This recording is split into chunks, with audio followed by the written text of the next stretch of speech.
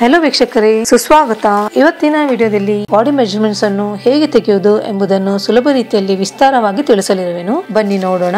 ಅಳತೆಯನ್ನು ಕಸ್ಟಮರ್ನ ಬಲಬದಿಯಲ್ಲಿ ನಿಂತುಕೊಂಡು ತೆಗೆಯಬೇಕು. ಶಾರ್ಟ್ ಟಾಪ್ ಚುಡಿದಾರ್ನ ಪೂರ್ಣ ಉದ್ದನ್ನು ಅಳೆಯಲು ಟೇಪ್ ಅನ್ನು ಭುಜದ ಹೊಲಿಯ ಮೇಲಿಟ್ಟು ನೇರ ಕೆಳಗೆ ಮೊಣಕಾಲಿನಿಂದ ಸ್ವಲ್ಪ ಮೇಲ್ಗಡೆವರೆಗೆ ಇಟ್ಟು ಅಳತೆಯನ್ನು ತೆಗೆಯಬೇಕು. ಮೀಡಿಯಂ ಟಾಪ್ನ ಉದ್ದವನ್ನು ಮೊಣಕಾಲಿನವರೆಗೆ ಅದೇ ರೀತಿ ಟೇಪ್ನಿಂದ ಅಳತೆಯನ್ನು ಮಾಡಬೇಕು. ಲಾಂಗ್ ಟಾಪ್ ಅನ್ನು ಮೊಣಕಾಲಿನಿಂದ ನಾಲ್ಕು ಇಂಚು ಕೆಳಗಡೆವರೆಗೆ ಅಳೆಯಬೇಕು.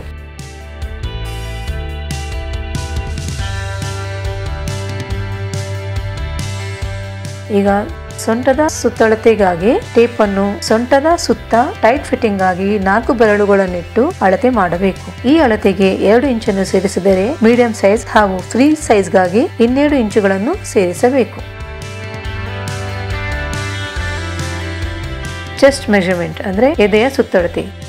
ಇದಕ್ಕಾಗಿ ಟೇಪನ್ನು ಹಿಂಬದಿಯಿಂದ ಬೆನ್ನೆಲುಬಿನ ಮೇಲಿನಿಂದ ಟೇಪನ್ನು ಕಂಕುಳಿನ ಅಡಿಯಿಂದ ಈ ರೀತಿ ಇಟ್ಟು ಅಳತೆ ಮಾಡಬೇಕು. ಇದು ಅಪ್ಪರ್ ಚೆಸ್ಟ್.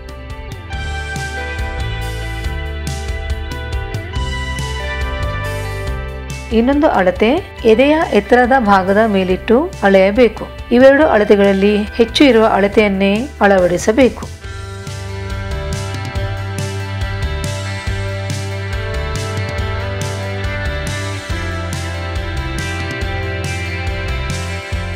ಮುಂಬದಿಯ ಕೊರಳಿನ ಆಳಕ್ಕಾಗಿ ಟೇಪನ್ನು ಭುಜದ ಹೊಲಿಗೆಯಿಂದ ಕ್ರಾಸ್ ಆಗಿ ಅಳೆಯಬೇಕು.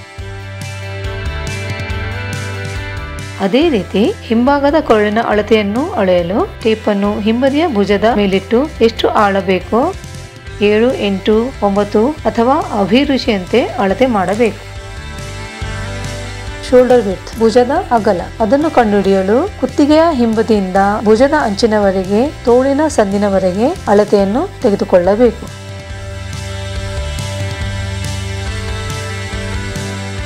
ಸೊಂಟದ ಉದ್ದಕ್ಕಾಗಿ ಟೇಪನ್ನು ಹಿಂಬದಿಯಿಂದ ಸೊಂಟದ ಸಪೂರ ಜಾಗದವರೆಗೆ ಈ ರೀತಿಟ್ಟು ಅಳೆಯಬಹುದು. ಸೊಂಟದ ಉದ್ದವು ಸಾಮಾನ್ಯವಾಗಿ ಪೂರ್ಣ ಉದ್ದದ ಕಾಲು ಭಾಗಕ್ಕೆ ಒಂದೂವರೆ ಇಂಚನ್ನು ಸೇರಿಸಿ ಬರುವ ಅಳತೆಯಾಗಿರುತ್ತದೆ.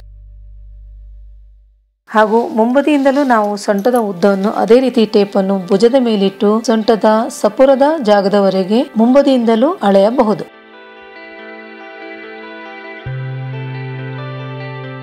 ಕಂಕುಳಿನ ಸುತ್ತ ಅಳತೆ ಕಂಕುಳಿನ ಅಳತೆಯನ್ನು ಅಳೆಯಲು ಟೇಪನ್ನು ಈ ರೀತಿ ಕಂಕುಳಿನ ಸುತ್ತ ಇಟ್ಟು ಅಳೆಯಬೇಕು.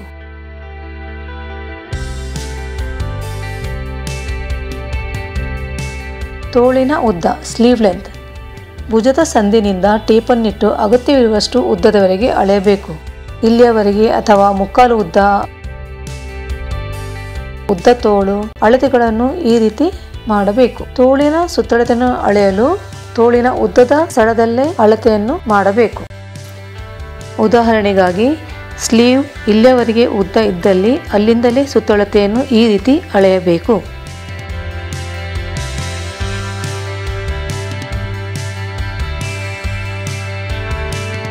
ಸೀಟ್ ರೌಂಡ್ ಅಥವಾ ನಿತಂಬ ಹೇಳ್ತಾರೆ. ಆಸನಗಾಗಿ ಟೇಪನ್ನು ಈ ರೀತಿ ಆಸನದ ಸುತ್ತ ಅತಿ ಅಗಲವಾದ ಭಾಗದಿಂದ ಮುಂಭಾಗದವರೆಗೆ ಅಳೆಯಬೇಕು.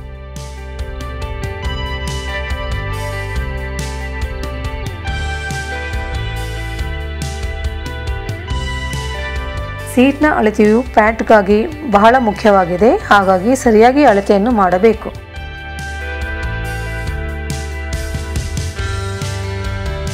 ಸೀಟಿನ ಉದ್ದವನ್ನು ಕಂಡುಹಿಡಿಯಲು ಟೇಪನ್ನು ಭುಜದಿಂದ ಎಲ್ಲಿ ಸ್ಲಿಟ್ನ ಅಗತ್ಯವಿದೆಯೋ ಅಲ್ಲಿಯವರೆಗೆ ತೆಗೆಯಬೇಕು.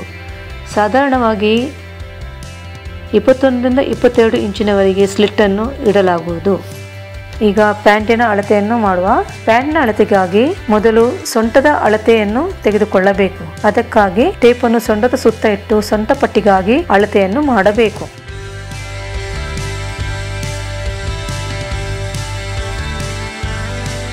ಪ್ಯಾಂಟಿನ ಉದ್ದಕ್ಕಾಗಿ ಟೇಪನ್ನು ಸೊಂಟದಿಂದ ಎಲ್ಲಿ ನಾವು ನಾಡ ಕಟ್ಟುತ್ತೇವೆಯೋ ಅಲ್ಲಿಂದ ನೇರ ಪಾದದವರೆಗೆ ಅಳತೆಯನ್ನು ತೆಗೆದುಕೊಳ್ಳಬೇಕು.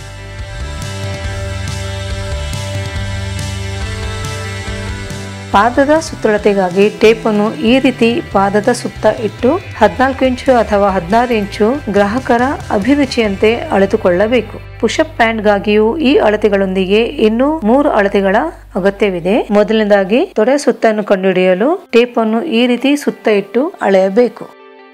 ಎರಡನೆಯದಾಗಿ ಮೊಣಕಾಲಿನ ಸುತ್ತ, ಅದನ್ನು ಅದೇ ತರ ಟೇಪನ್ನು ಮೊಣಕಾಲಿನ ಸುತ್ತ ಇಟ್ಟು ಅಳೆಯಬೇಕು.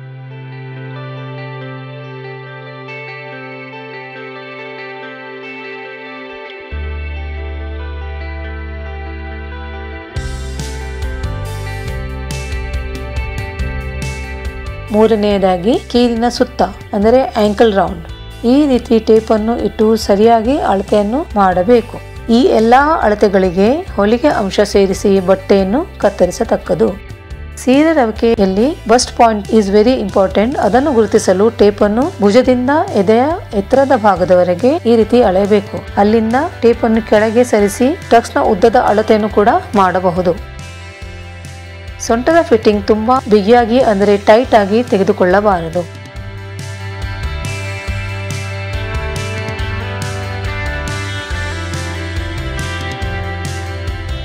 ಶರಾರ ಅಥವಾ ಲಾಂಗ್ ಸ್ಕರ್ಟ್ನ ಟಾಪ್ಗಾಗಿಯೂ ಅಳತೆಗಳನ್ನು ಭುಜದಿಂದ ಸೊಂಟದವರೆಗೆ ಹೆಚ್ಚು ಅಥವಾ ಕಡಿಮೆ ಉದ್ದ ಇಟ್ಟು ಅಳತೆ ಮಾಡಬೇಕು. ಫ್ರೆಂಡ್ಸ್ ನಾವೀಗ ಬಾಡಿ ಮೆಜರ್ಮೆಂಟ್ಸ್ ಹೇಗೆ ತೆಗೆಯುವುದು ಎಂಬುದನ್ನು ಸರಳ ರೀತಿಯಲ್ಲಿ ಕಲಿತೆವು. ಈ ವಿಡಿಯೋ ವೀಕ್ಷಣೆಗೆ ತುಂಬಾ ಧನ್ಯವಾದಗಳು. ಆಸ್ ಯೂಶುವಲ್ ವಿಡಿಯೋ ಇಷ್ಟವಾದಲ್ಲಿ ಪ್ಲೀಸ್ ಲೈಕ್ ಶೇರ್ ಕಮೆಂಟ್ ಹಾಗೂ ಸಬ್ಸ್ಕ್ರೈಬ್ ಮಾಡದಿದ್ದಲ್ಲಿ ಪ್ಲೀಸ್ ಸಬ್ಸ್ಕ್ರೈಬ್ ಮಾಡಿರಿ. ಮುಂದಿನ ಹೊಸ ವಿಡಿಯೋದಲ್ಲಿ ಬೇಗನೆ ಭೇಟಿಯಾಗೋಣ. Thanks once again bye bye